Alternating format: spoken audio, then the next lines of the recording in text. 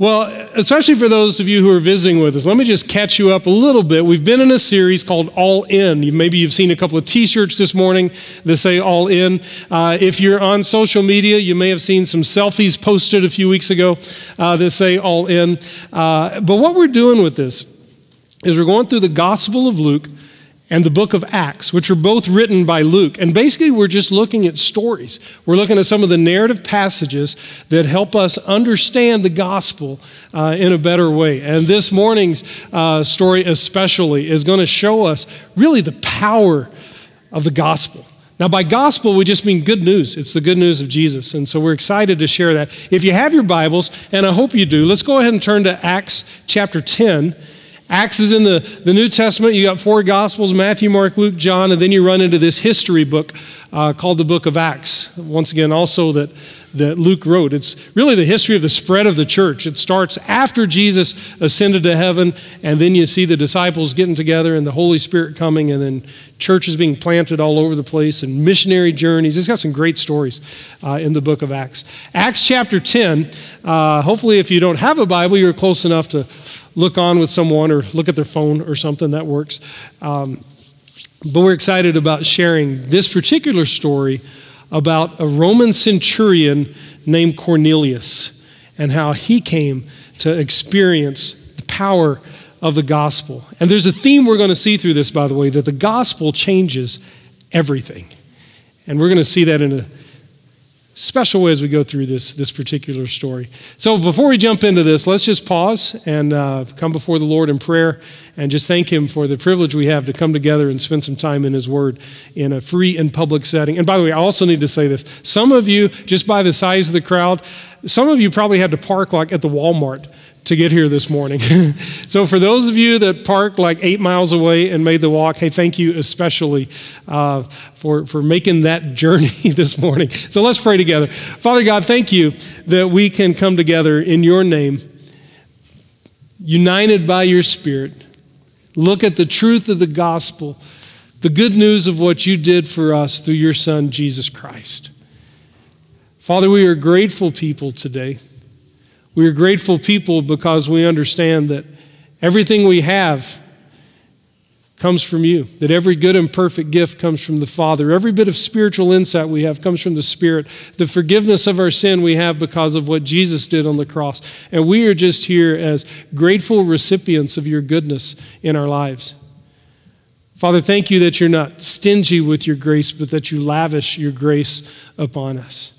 And that we can just bask in your goodness and in your beauty and in your love this morning. Father, as we look at the story of Cornelius, I pray that you will open our hearts and open our minds uh, to what you want to say to us through your word, that you would give us a good understanding of who you are and what you have done for us. So we surrender this time to you and ask for you to speak to us in, in powerful ways this morning. We pray this in Jesus' name. Amen. Well, this story is an important one. Uh, Cornelius, as I mentioned, was a Roman centurion. Centurion isn't a word that we use anymore. Centurion is part, it's a position almost like a captain in the Roman army. He was a guy that, that had command over 100 soldiers. And he lived in Caesarea, which was kind of a stronghold of the, of the Roman uh, military. It's a significant story. It, it, takes up the entire chapter of chapter 10. It's retold in chapter 11. It shows up again in chapter 15. This, this is an important story. Now, it does take up the whole chapter.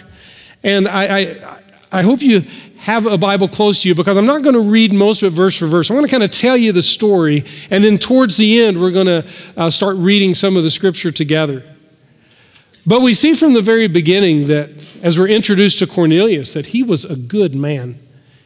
He's described this way that he's a devout man and that he feared God, that he gave generously to the poor, and that he prayed consistently. And we look, everything about Cornelius says this is a good guy. He's a good man. But we also see as we dig a little deeper that he was a good man, but there was something missing.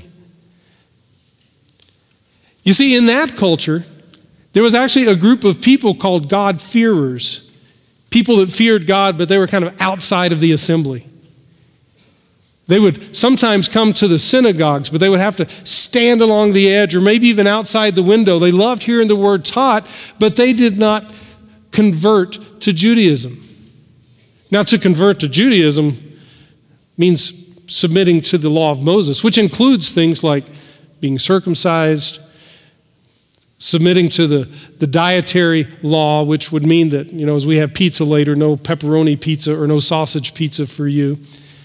And, but there were people who feared God, but did not fully convert to Judaism. And, and Cornelius was probably one of those guys. So he would kind of seek God, be interested in God, but he's always on the outside looking in. What we're going to see as we go through this chapter that God takes extraordinary measures to move Cornelius from outside the assembly to inside the body of Christ. As a matter of fact, the extraordinary measures begin very early in the chapter. It says that Cornelius is praying. It says the ninth hour of the day. That's three o'clock in the afternoon. It was a designated time for prayer. And here's Cornelius praying, and God does something dramatic to capture his attention. He sends an angel. If you can imagine, you're sitting there praying, God, thanks for the day, bless the missionaries. And then there's an angel. And we read that Cornelius was terrified. Yeah, I would be too, right? And he's terrified. And the angel starts talking to him. And here's what he says He says, I want you to send people to Joppa. And I want you to go to the house of Simon the tanner who lives by the sea. And for some reason, he's always described in that way Simon the tanner who lives by the sea. So we'll keep saying that, okay? So go to Joppa to the house of Simon the tanner who lives by the sea. And there's going to be a guy there named Simon Peter. Have him come to your house. So he did. That's exactly what he did. But I want to pause here for a second. This is God doing something extraordinary to capture his attention. And don't miss this either. God wants to communicate the gospel to Cornelius. And he sends an angel. But you notice what doesn't happen. It's not the angel who communicates the gospel. And angels would be far better communicators of the gospel, right, than, than people like you and me. But notice this is God's plan. God's plan is not that angels are going to show up and share the gospel. The, God's plan is that Christ followers, ordinary people, will be sharing the gospel. Now, we hear from missionaries in Middle Eastern nations, more Muslim nations, that God is still doing this, by the way. That there are people having dreams and visions about people saying, Go to this man or this woman who will explain spiritual truth to you. And it's the same thing in these dreams and visions. God isn't explaining the gospel, He's directing them to people who will explain the gospel. So the angel disappears. Cornelius does what probably we would do if an angel showed up before us. He did what the angel instructed him. He took two of his servants and one of his soldiers, and he sent them to Joppa, to the house of Simon the tanner who lives by the sea. He's very proud of that beachfront property, apparently. Joppa. You, might have heard of Joppa. Maybe not. It shows up in the Old Testament in the most random place. You see, there, there's, a, there's a book in the Old Testament called Jonah. Maybe you're familiar with the story of Jonah. But God tells Jonah to go to Nineveh. Jonah wants nothing to do with Nineveh. So he goes the opposite direction. And he goes the opposite direction by going to a little port town called Joppa and getting on a ship and going the other way. So God wants to make sure that Peter doesn't do that. So God takes extraordinary measures to bring the gospel to Cornelius. But he also takes extraordinary measures to get a hold of Peter. Here's what I mean this chapter is about the conversion of Cornelius, but there's also a conversion that needs to take place in Peter and in the early church. Now we see God working in extraordinary ways, not only in angels and visions, but also in the timing of things. Because as these men leave Caesarea on the way to Joppa, it's about 30 miles. As they're approaching Joppa, it's lunchtime in Joppa. at the house of Simon the tanner who lives by the sea. And so, as they're getting lunch ready, Peter says, I'm going to go up on the roof to pray. Now, some of you may think that's an odd place to go pray. I pray in cemeteries, and that creeps people out sometimes. That's odd. I will admit that. But in that culture, going to the rooftop to pray was very common. A lot of times they had flat roofs, and it was almost like another living area. So Peter climbs up on the roof. He's getting away from the hustle and bustle of, of the food preparation, and he begins to pray. And God does once again the extraordinary. As Peter's praying, he has a vision. And it's a vision of this sheet coming down from heaven, and it opens up. And inside this sheet, there are animals, all kinds of animals, and reptiles, and birds. And Peter looks at this, wondering what's going on, and a voice from heaven says, Arise, Peter, kill and eat.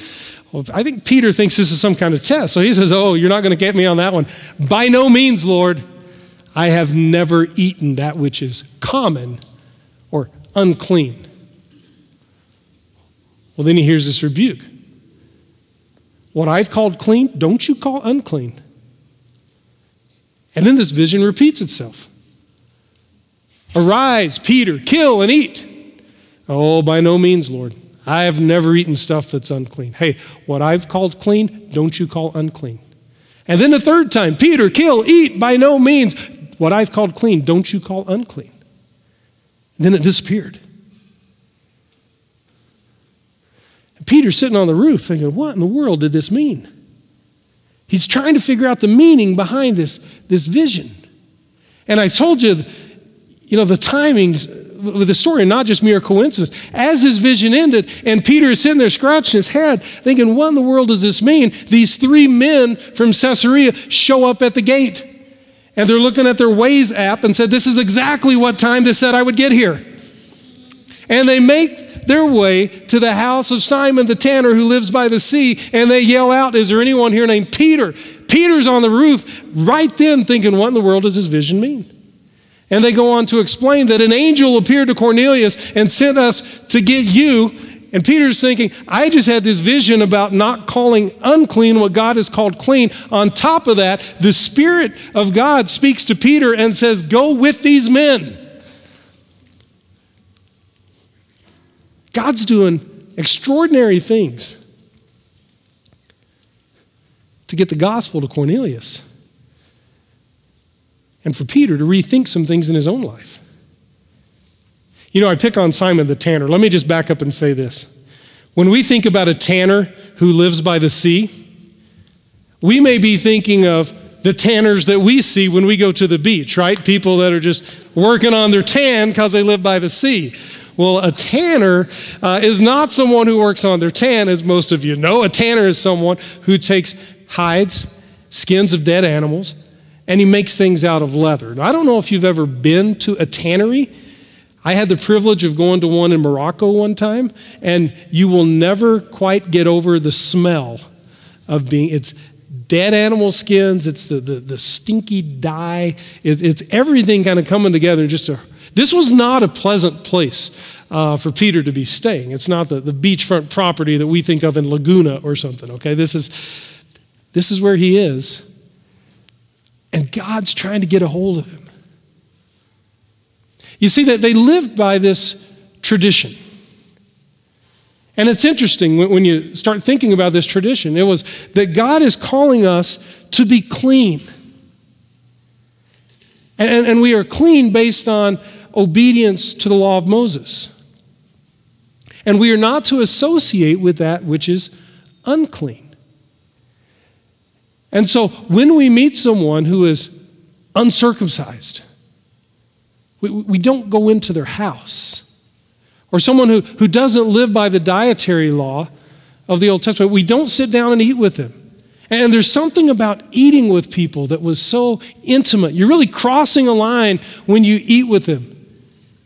And if you remember, that's what they accused Jesus of that you eat with tax collectors and sinners. And as a good Jew, even a good Jewish Christian, you would not go into the house of Gentiles, much less eat with Gentiles, people that weren't Jewish. Now it's interesting, this teaching doesn't really come from the Old Testament. I mean, the Old Testament talks about it is through Abraham that all the nations will be blessed. And as you get into Isaiah, there's, there's prophecies of a future time when all nations, even enemies of Israel, will become worshipers of God. But in some of the rabbinical schools of that time, they would emphasize so much that we need to be separate and we need to be clean that they removed themselves from relationship with Gentiles. You're going to see in here the gospel changes everything. Even confronts churches or church leaders who hold to traditions that when you take a look at it, they're not in line with the gospel. And this is what's happening from the very beginning. And all of this is based on the gospel. So God has taken extraordinary measures on one hand to say, Cornelius, you need to come from the outside looking in to being part of the body of Christ. He's also saying, Peter and other church leaders, you need to understand this separatist attitude is not in line with the gospel. That the kingdom of God is bigger than just the Jewish people. When you said at Pentecost, when you quoted Joel 2, in your sermon and said that I will pour out my spirit on all flesh, it didn't just mean all Jewish flesh. That I'm doing a great work bringing Jews and Gentiles together as one body, the body of Christ. Well, they start this journey. Having heard that an angel showed up to speak to Cornelius and having seen the vision from God and the Spirit saying, Yes, go with these men, Peter took six of his friends that were also Jewish Christians and he joined these three. So six plus three plus one, ten of them made the trip, the 30 mile journey from Joppa to Caesarea. By the time they got there, it had been four days since the angel appeared to Cornelius. Now, Cornelius was smart. Do you know what he did in those four days? This was great. See, he knew because an angel had told him to do this. He knew that a man of God was going to come and speak spiritual truth. Now, he didn't want this to happen like one on one sitting over coffee. He's like, I've got a man of God coming to share God's word. So he gathers his family, he gathers his friends. Listen, this is the original Friend Sunday happening right here. Now, I don't know if it was a Sunday, but I do know that he invited his friends. And I hope those of you that were invited this week kind of pick up on some of this because there's a truth in God's word that we're excited to hear, but we don't want to keep it to ourselves. We want others to hear the good news of what God has done in Jesus Christ. And so it only makes sense that we would invite people to come join us in hearing this gospel, this good news of Jesus. And so when Peter shows up with these nine other people, they walk into a full house. And honestly, there's some socially awkward things that happen when he get there. For example, when he comes, Cornelius comes and he bows down before him. And Peter basically says, Get up. I'm not the one you worship. I'm just the guy that honestly didn't even want to come, but God made me, and here I am. He says, Get up. And then Peter, as he walks into the house, eh, now, now just listen to this and see if there's anything, eh, eh, if this just sounds a little socially rude to you, kind of a faux pas. Before he enters the house, he says, I want you all to know something. You all know that as a Jew, I'm not supposed to come into this dirty house. But God told me it's okay, so I'm going to come in the house. that sounds a little awkward, doesn't it? He didn't say dirty house, I added that in. but that's what he meant. I thought this house was unclean, so I would never walk into this house but God sent me. And I want to pick up in the reading at that point. We're going to skip way down to verse 33. And when you get down to verse 33, this is Cornelius speaking. He says, So I sent for you at once, and you have been kind enough to come. Now, therefore, we are all here in the presence of God to hear all that you have been commanded by the Lord. Is this a great way to assemble to hear God's word? That we are here in the presence of God, eager to hear what God has laid on your heart to share. Now, I've said so far the gospel changes everything. The gospel is going to change Cornelius, the gospel is going to change Peter and the early church. But what we haven't done yet is said what the gospel is. And so Peter walks into this packed house full of the, the family and friends of Cornelius. and he begins to speak the gospel. Now, what we read, Luke, who wrote the book of Acts, is kind of giving us the highlights, kind of like the outline of the sermon. I guarantee you, Peter spoke longer than the two minutes it would take to read these verses. So he's kind of giving us the outline. And let's walk through and look at the outline of what he said. Verse 34 So Peter opened his mouth. So truly I understand that God shows no partiality. But in every nation, anyone who fears him and does what is right is acceptable to him. As for the word that he sent to Israel, preaching good news of peace through Jesus Christ, he is Lord of all. Let me just pause there Lord of all. Do you remember what God was known as in the Old Testament? He's the God of Israel. But instead of coming in to this Gentile context and talking about the God of Israel, he says Jesus is not coming as the God of Israel. He's the Lord of all. Then we keep reading. You yourselves know what happened through all, throughout all Judea, beginning from Galilee after the baptism that John proclaimed. How God anointed Jesus of Nazareth with the Holy Spirit and with power. He went about doing good and healing all who were oppressed by the devil, for God was with him, and we are witnesses of all that he did, both in the country of the Jews and in Jerusalem. He starts off by saying, Look at the life of Jesus. What we see in Jesus was a good man, he did good things. But not only a good man, a good man that walked with the power of God. He healed people who were sick, he had authority over demons. As a matter of fact, what you saw in Jesus, his life, his teaching, his power, this should have been enough for you to say, This is God, and I believe. But instead of that response, look what we read next. They put him to death by hanging him on a tree. Now, once again, we're just getting the outline here. It's interesting that he says hanging him on a tree, because in the Old Testament we read that cursed is anyone who hangs on a tree. And my gut feeling is that as Peter is explaining this, he talks about Jesus hung on the tree, he took the curse that our sins deserve. And Jesus was hanging on the tree, experiencing the full wrath of God that our sins deserve. He's not just a guy that died, he is a substitute for those who believe. That each of us are guilty because of our sin. And the price that our sin demands is the full wrath of God. But that was poured out not on us, it was poured out on Jesus that he took on the curse so that we could experience the blessing of God. Well, that's not the end, though. But God raised him up on the third day. And he made him to appear not to all the people, but to us who have been chosen by God as witnesses, who ate and drank with him after he rose from the dead. See, not only did Jesus die on the cross, three days later, he was resurrected, raised, and in doing so, he accomplished victory over sin and victory over death itself. So, as Peter's explaining the gospel, he says, Look at the life of Jesus. Look at the power, the spiritual power. He was God, He's Lord of all. And He died in our place, and then He was resurrected. And Peter's saying, I'm standing here as a witness. He didn't appear to everybody, but we know he showed up to over 500 people at one time and that he ate and he drank. This is real. This is not a myth. This is not a legend. Jesus is risen. He is risen indeed.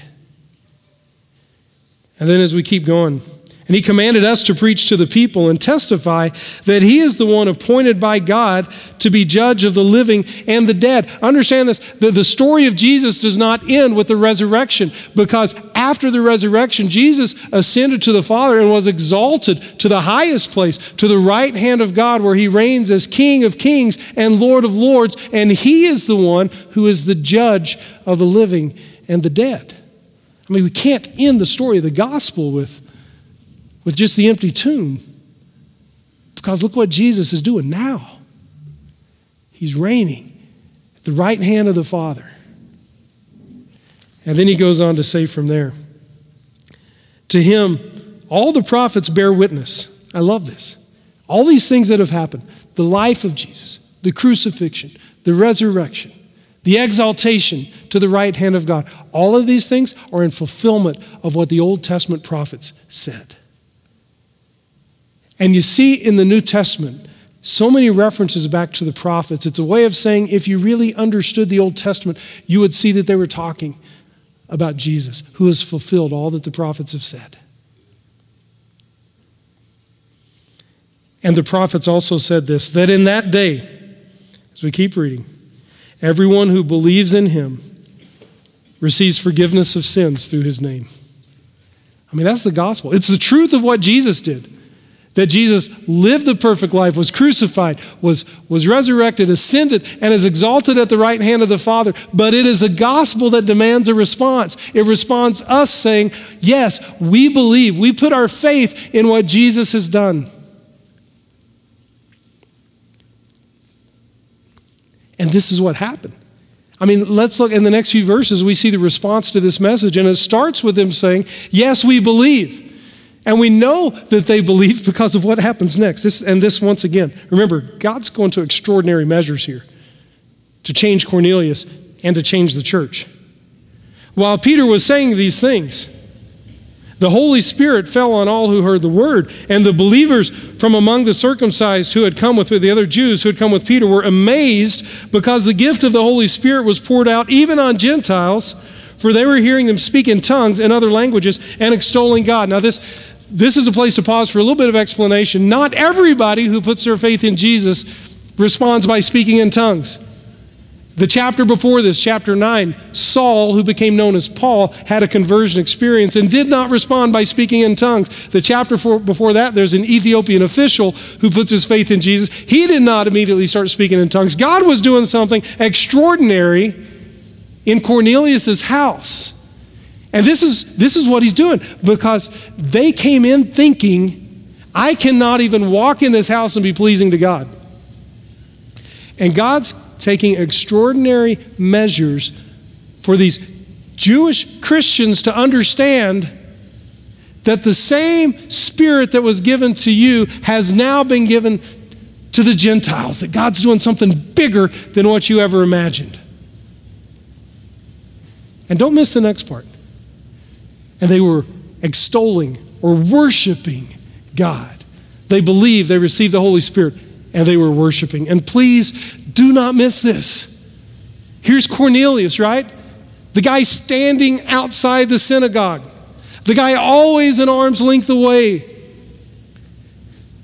The guy who feared God is now the guy who is forgiven by God, and he has entered the assembly of people that are worshipers of the risen Christ and the living God. The gospel changed everything. He heard this message, he believed this message, and he's moved from being the guy outside the assembly to the guy who's a worshiper of the living God. Let's keep reading because it just, it, you know, every verse just keeps getting better. Then Peter declared, Can anyone withhold water for baptizing these people who have received the Holy Spirit just as we have?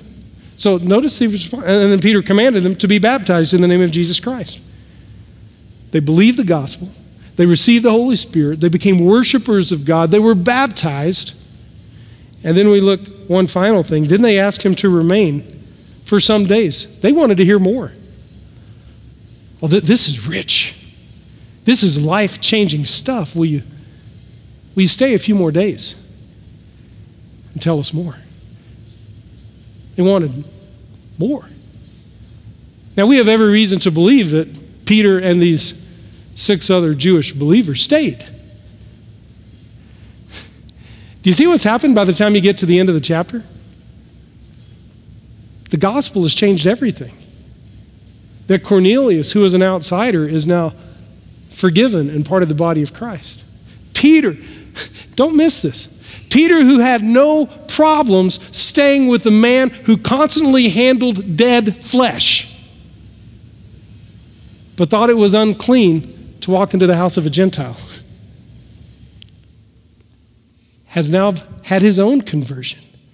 That what God is doing is bigger than just reaching the Jewish believers. This kingdom of God is going to the Jews and the Gentiles. But I want you to notice one other thing.